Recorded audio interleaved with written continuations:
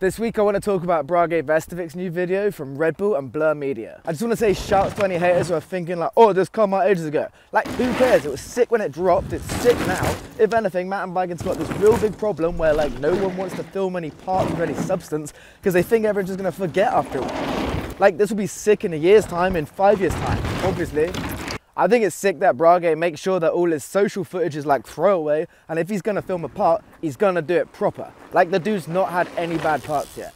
They're all bangers. I mean, bar drags will always be cool. And there's this bit where he does this like huge pull-up, gaps an insane amount of trail, lands, big compression, gets a flat, gaps another of bit trail, lands with a flat like a complete boss. And he does the most ridiculous triple. Like, that's gotta be like 60 or 70 foot, something insane. Right, that's my sickest thing this week.